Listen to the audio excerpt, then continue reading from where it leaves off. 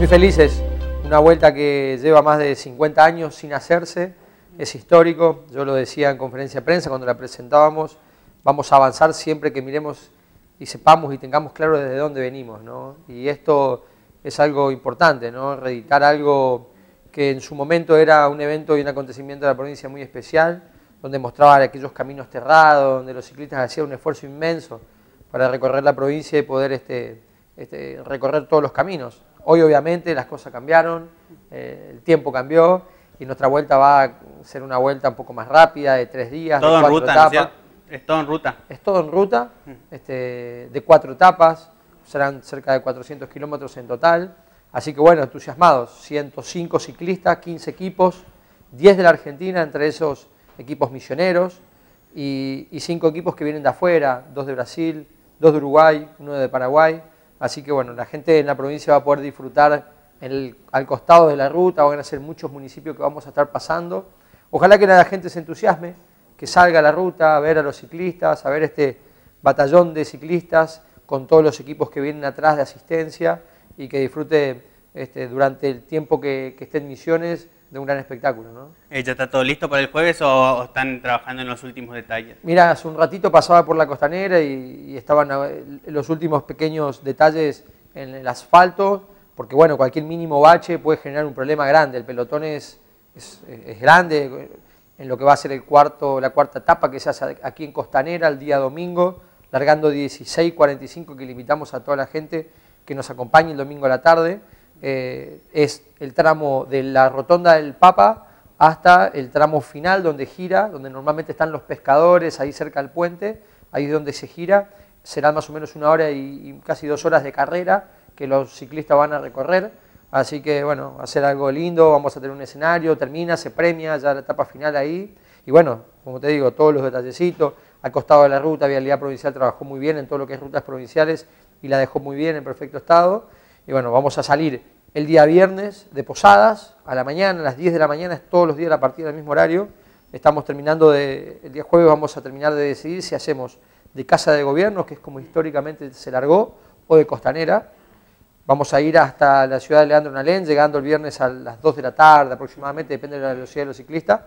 Día sábado de la mañana, 10 horas, largamos de Alem, tocamos Soberá, Parque de las Naciones, giramos en la rotonda, Vamos a, ya le hemos solicitado a toda la gente del parque, están las 40 aniversario de la fiesta del inmigrante. Claro, sí. Así que van a estar todos formados ahí en el parque, vestidos con trajes típicos, reinas, gente, saludando a los ciclistas. Vamos a intentar promocionar la fiesta también. Vamos a ir hasta Cerro Azul, Cerro Corá, Candelaria, este, bueno, tocamos Garupá, Posadas y llegamos a la costanera el día sábado.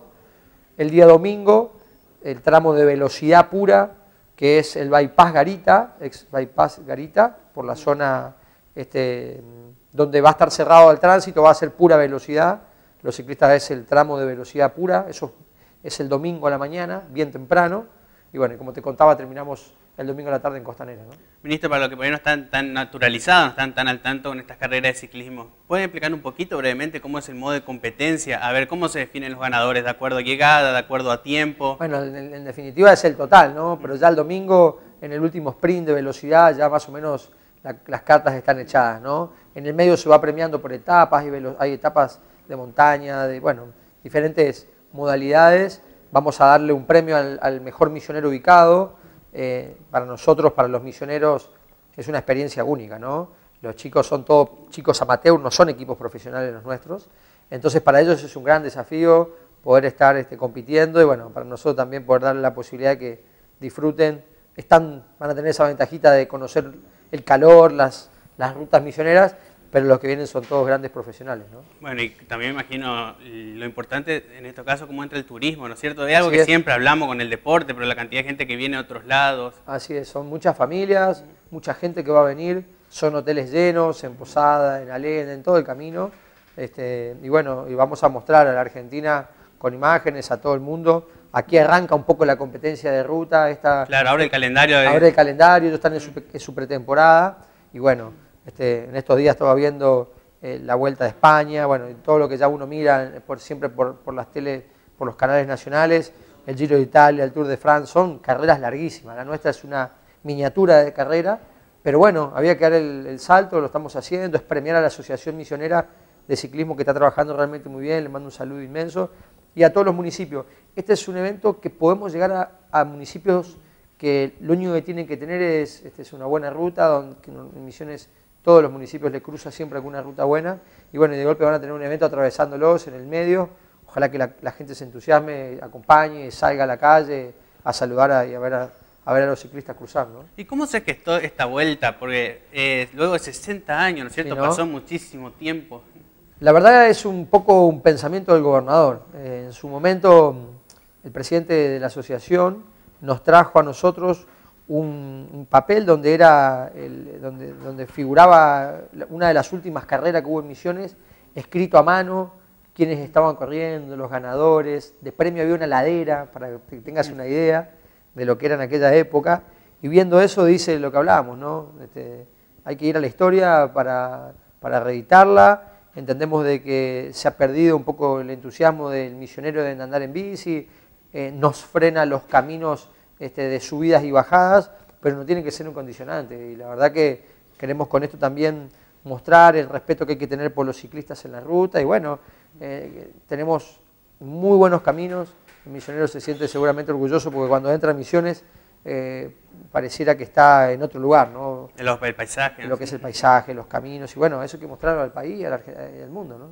Sí, viene, pues bueno, usted también estaba explicando que vienen competidores, esto hay que decirlo, de todo el país, de toda Sudamérica, Uruguay, Brasil, eh, Paraguay, la competencia que arranca ahora este jueves. Así es. Y es medio complicado porque de la última vuelta quedan muy pocos sobrevivientes, ¿no es cierto? Así es pero me imagino que también es reeditar eso, anécdotas de alguno que justo estuvo ahí en la última, en esas vueltas que se hacían antes. Sí, eran otras épocas, ¿no? Las bicis eran diferentes, eran caminos terrados, llovía y, y, uno veía, hay algunas imágenes y fotos de aquellas épocas y cambió todo mucho, ¿no? Hoy las bicis, los que son, ¿no? Bicis de fibra de carbono, que tienen un valor este, inmenso, valen tienen el valor de un auto, una bicicleta, ¿no? Sí. Eh, y todo lo que es los repuestos y, el equipamiento que usan. Pero la verdad que es, muy lindo, nos va a acompañar gente que estuvo.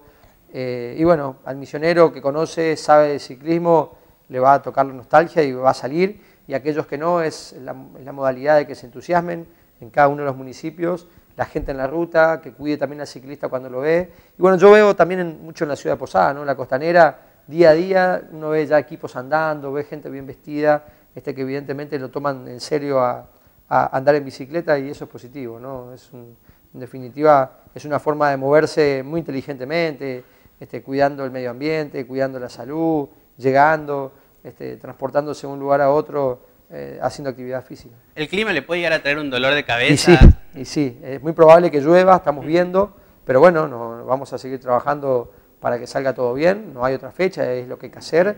Y bueno, este, el jueves vamos a arrancar con la presentación, este, aquí muy cerquita de los estudios de ustedes, y si llegase a llover nos vamos a trasladar a la Subsecretaría Social del Ministerio de Deporte por la calle Córdoba 69, así que los invitamos a todos a hacer un hermoso evento, presentación de los ciclistas y bueno, un poco la parte de donde arranca esta vuelta. ¿A qué hora, ministro, si nos puede...? 18 horas a todos, acá en la Costanera, en el caso de lluvia nos trasladamos al, edificio de Córdoba 69, donde funcionaba antes el Instituto del Deporte. ¿no?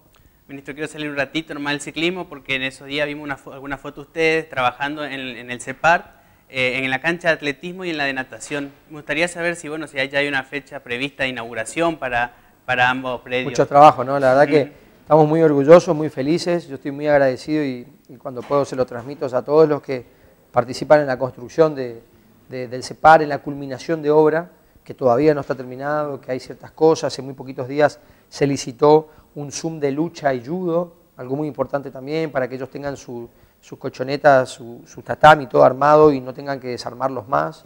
Eh, y bueno, estamos este, esperanzados en poder llegar para el mes de octubre con la pista de atletismo. Ya hoy, mañana están empezando en la etapa final, que es ya el tartán, el sintético, que empiezan a desparramar arriba, ya está aprobado los pisos, las inclinaciones, la verdad que un trabajo muy delicado para que quede bien, para que tenga las garantías correspondientes con los drenajes, todo. Son más o menos 30 días de, trabajo desde que se comienza, así que esperamos en el mes de octubre inaugurarla.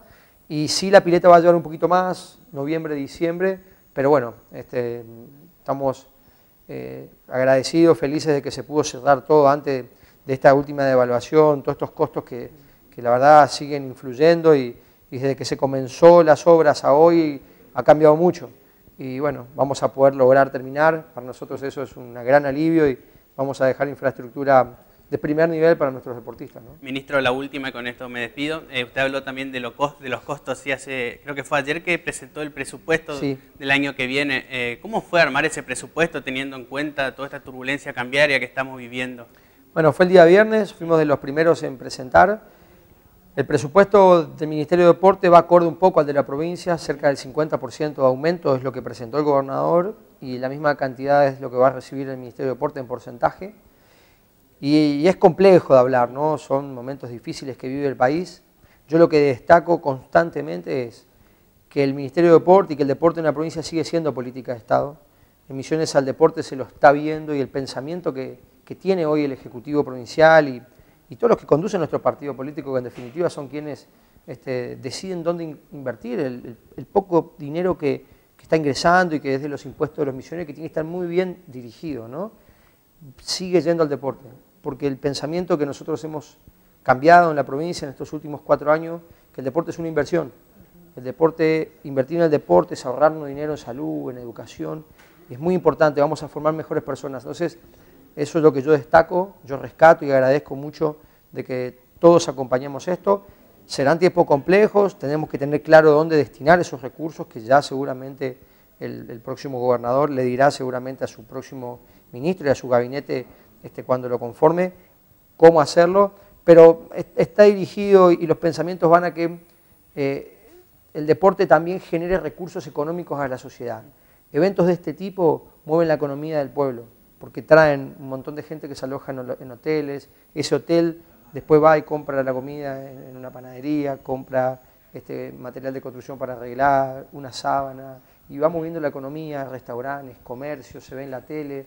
Y hay que entenderlo así el deporte. El último feriado largo del 19 de agosto, el ministro de Turismo hacía un comunicado contando las capacidades hoteleras y donde había eventos deportivos, 80-90% este, de ocupación.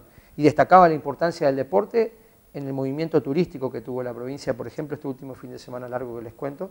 bueno, hay que verlo así, ese es el gran desafío, me parece, a futuro, donde la cosa no va a estar fácil económicamente y el deporte va a haber que verlo como un círculo virtuoso de, de, que genere un movimiento económico en la sociedad. ¿no?